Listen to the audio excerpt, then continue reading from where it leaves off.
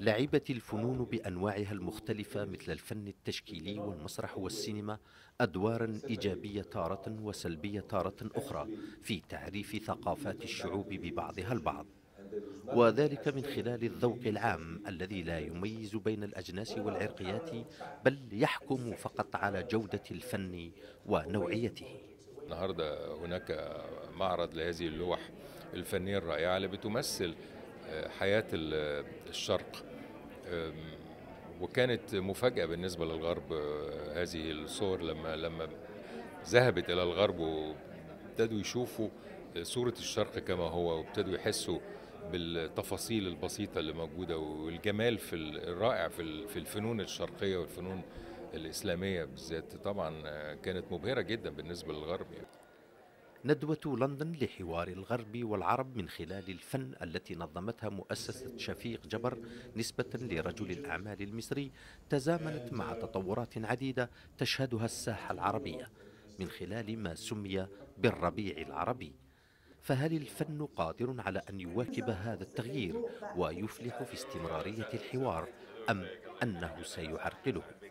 أنا أرجو أن إحنا نكون نتجه إلى الطريق الصحيح لأن الحوار لن يأتي أبدا بالرصاص ولن يأتي أبدا بالاغتيالات.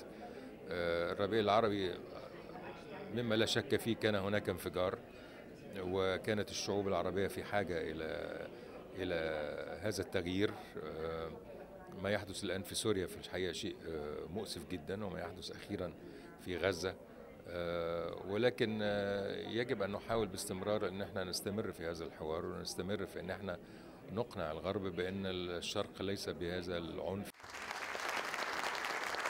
توني بلير رئيس الوزراء البريطاني الأسبق كان ضيف الشرف في هذه الندوة وتحدث عن أهمية إدراج جميع أطراف المنطقة المعنية بمسألة حل النزاع الفلسطيني الإسرائيلي بشكل خاص باعتباره يشكل أحد العقبات الرئيسية في إفشال مهام الحوار بين الشرق والغرب. تحدثنا عن الحوار العربي الغربي والغربي الإسلامي منذ فترة لكن هل نحن في بداية الطريق أم في وسطها؟ في نهايتها. Dialogue now? It's a good question. I mean, I think that we are at the beginning of a new phase of dialogue because the, the, the Middle East is in upheaval. You know, there's, there's, revolutions going on everywhere, and where there aren't revolutions, there's a desire for change. The question is what comes out of that change.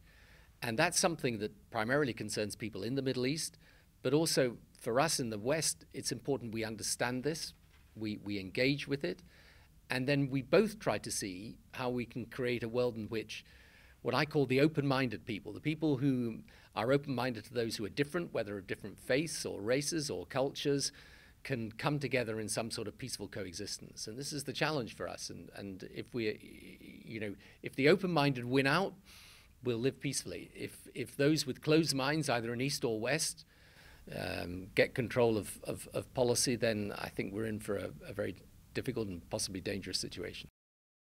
I'm really worried about the situation in Gaza now. If it, if it, if it escalates further, there will be a lot more innocent civilians that get killed. It is essential we de escalate it now, try and achieve a period of calm. I know Egypt and the Americans and others are trying to bring about the situation as we all are. Um, and then we've got to find ways of moving the whole Israeli Palestinian issue forward. But if this situation in Gaza continues, and it escalates, it's going to have a very serious impact, not just on Israelis and Palestinians, but right across the region. What is stopping you? ما الذي يمنعك من السفر إلى المنطقة في هذا الظرف الصعب? I will be going out there again shortly, um, and even though this is not part of my quartet responsibilities, I mean, obviously, I will do everything I, I can to try and create a situation in which you, you, you get the the de-escalation that we need because if, if, if it continues in this way, if the rockets carry on, the Israeli retali retaliation carries on, more innocent people will die and the situation will become inflamed.